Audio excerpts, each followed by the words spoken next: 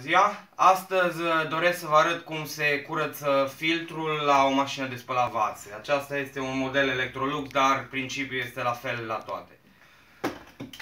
Deschidem ușa și în partea de jos, după cum vedem aici este filtru. Este un procedeu foarte simplu, învârtim de filtru, îl scoatem afară, de obicei este format din două bucăți.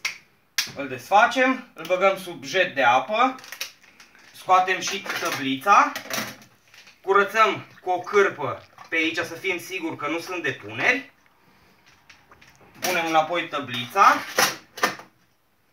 după ce am curățat filtrul, foarte atent să fim să curățăm bine filtrul, îl introducem,